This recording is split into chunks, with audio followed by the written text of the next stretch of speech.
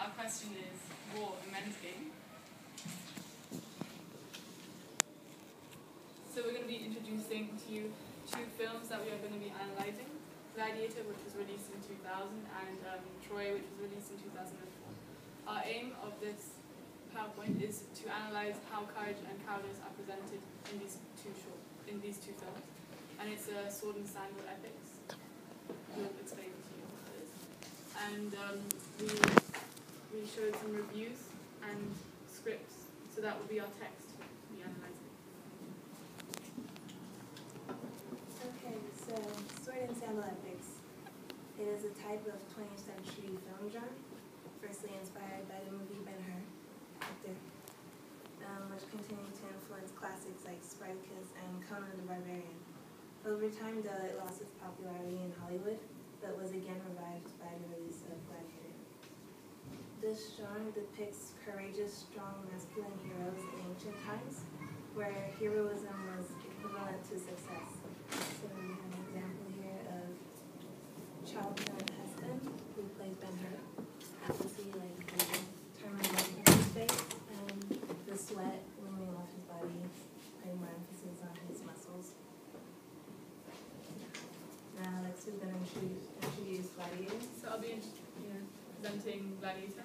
Um, it was released in 2000, and um, the director is Ridley Scott, and the main character is Russell Crowe, and he plays Gladiator or Maximus. And um, well, he's very buff, and he shows a lot of masculinity and courage. He is shown he is he's regarded as a hero in the film, and I'll be just showing you some of the reviews as you have in the sheet. Um, if there's a soft spot in your heart for the sword and sandal epic, and from the star rating, I think you can guess where I stand. Then you'll swoon, swoon with giddy delight over Gladiator, a sweaty, stylish hunk fest that takes you back to the days of Ben-Hur, Spartacus, and the so recently departed Steve Reeves. From his biceps to his gluteus, Maximus is Maximus.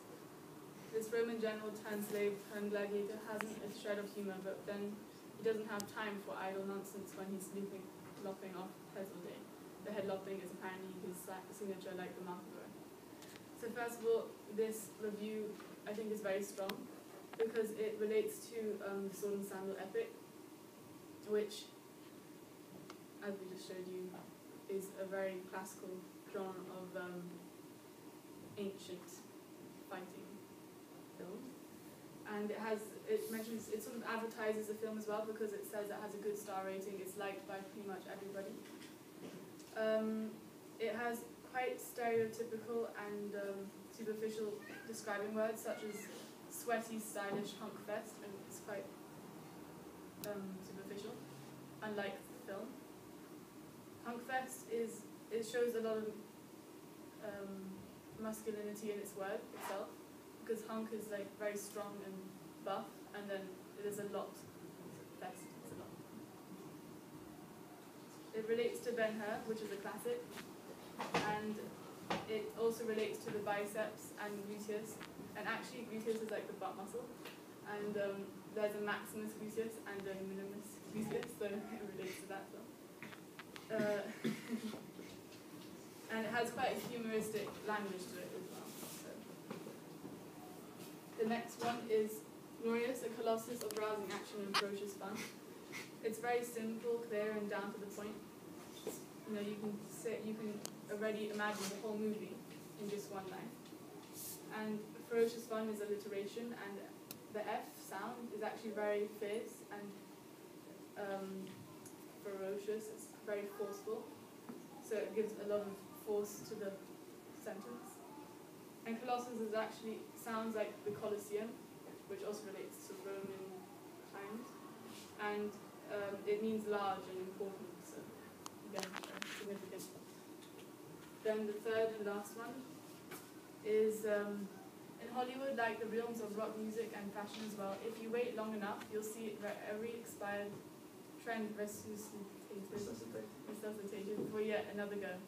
Case in point, this month is Gladiator, director Ridley Scott's ambitious Roman mega spectacle, which revives the old sword and sandal genre of the 50s and 60s.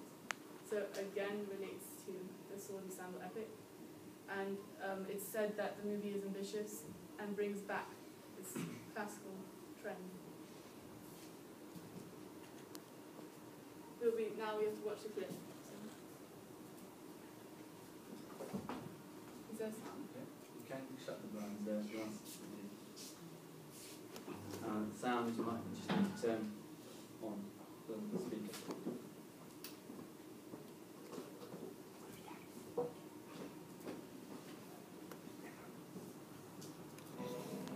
Did you have a name? My name is Gladiator. How dare you show your back to me? Slave! You would remove your helmet and tell me your name.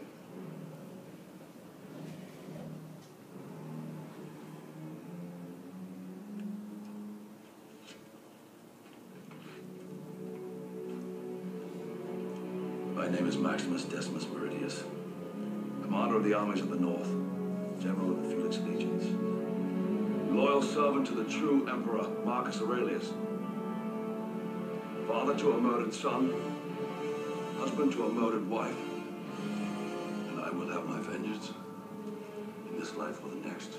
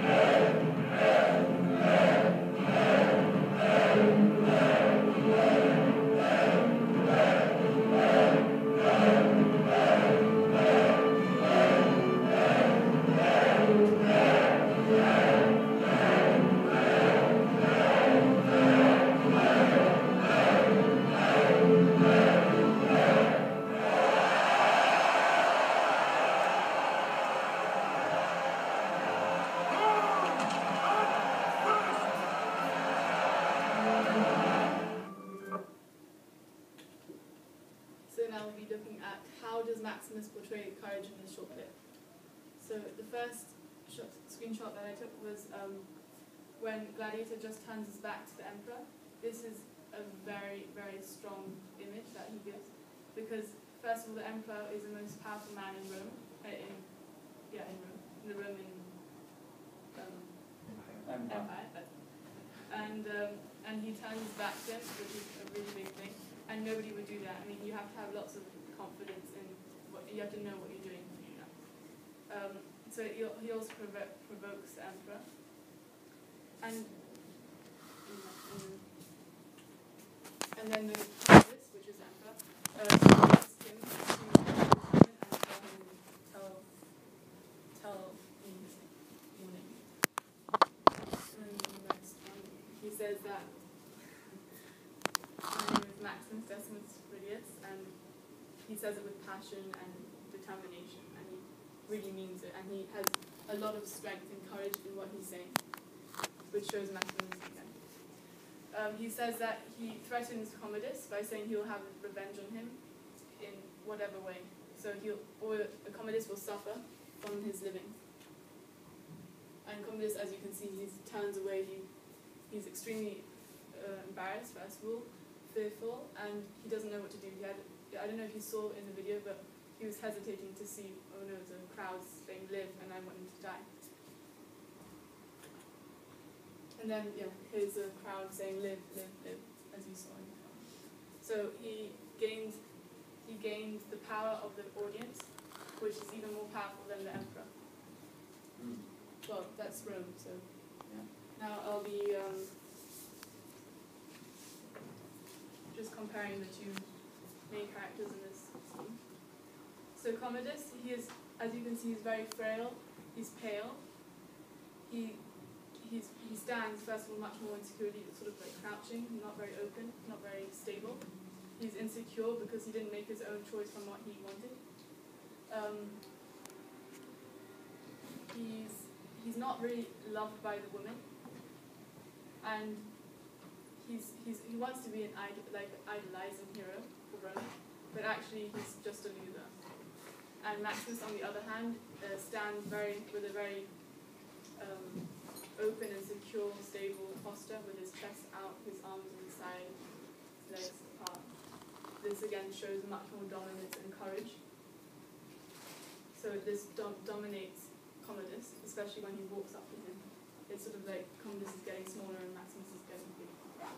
And um, Maximus, actually, before this scene, just before, he wants to kill the emperor, so he takes some, knife on from the floor and he would kill Commodus just when he's facing him. But actually, then Commodus, uh, Maximus sees the nephew and he doesn't do it because he doesn't want to hurt the nephew right in front of him. So that shows that he's merciful and actually caring. So that's again gives a masculine um, side, but it's different. But it's, his deep voice really emphasizes his dominance and courage. Those are the points. Now we're Troy was released in 2004 and was directed by. It is the most recent remake of Homer's story, and it includes Eric Bana, Orlando Bloom, and other celebrities.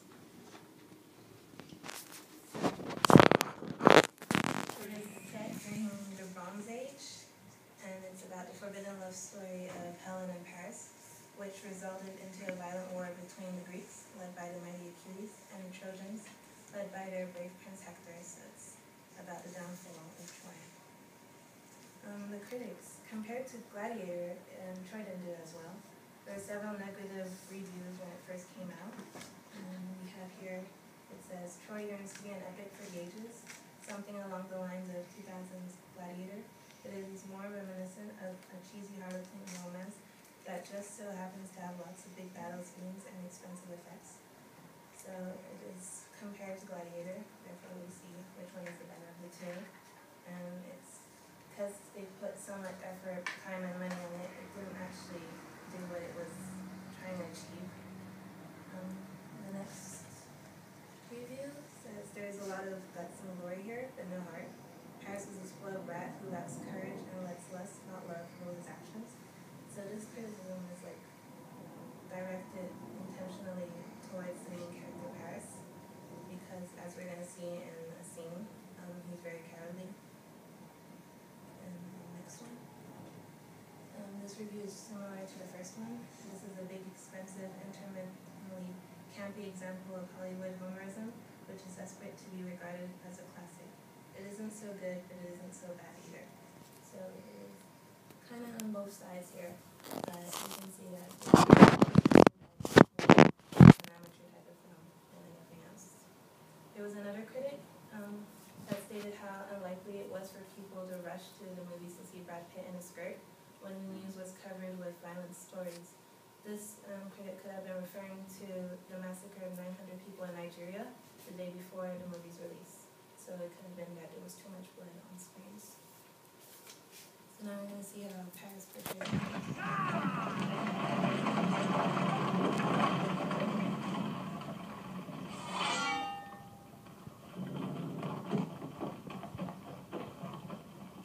Make him swing and miss, he'll tire. Brother, if I fall, tell Helen, tell Luke, I won't. Don't let me